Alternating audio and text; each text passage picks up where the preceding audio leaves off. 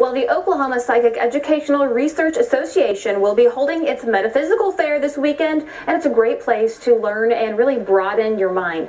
Joining us this morning to talk about the fair, eh, as well as herself and the Bible, is the Bible Belt mystic Leslie Draper. Thank you so much for coming in Thank and talking you for to us. having me. What a what a great pleasure this is. I know, and she clear energy here in the studio, so we're feeling very renewed already in January. Um, and you have actually uh, have a history with some autoimmune um, Mm-hmm. diseases, but uh, including you've had multiple sclerosis.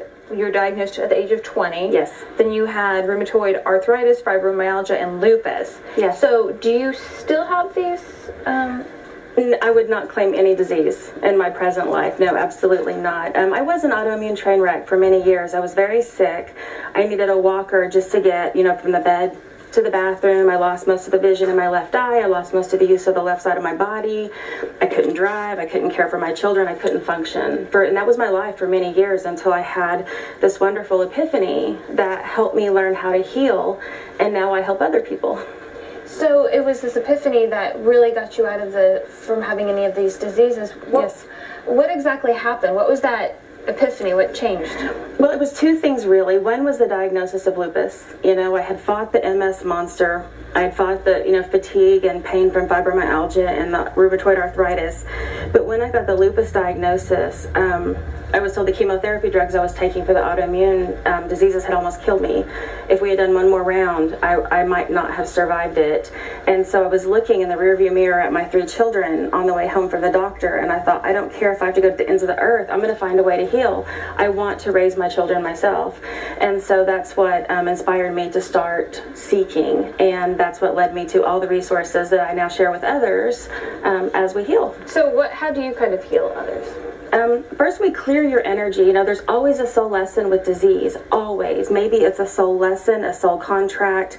Um, maybe it's something that came from a past life into this lifetime with you. There's always something for us to know, something for us to understand, something for us to release. And we figure out what those things are, and then we clear the energy.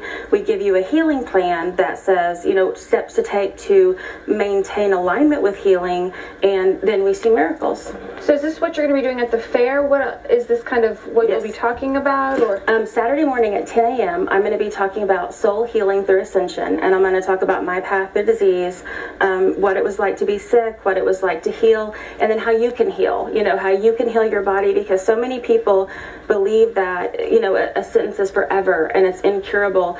And we can, you know, build a bridge between traditional medicine and energy medicine, and we can find that perfect combination that helps us live, you know, lives healing where where we are living our, our highest good our most powerful truth we're aligned we're happy we're blessed we're living our bliss and that's what i want for everybody Thank you so much, Leslie, Thank for you. coming out and talking to us. The mind is a powerful thing. Leslie will be teaching soul healing through ascension at the Opera Metaph- Metaphysical Fair this Saturday at 10 a.m. The fair will run Saturday and Sunday at the India Shrine Center. For more information, you can go to operaok.com.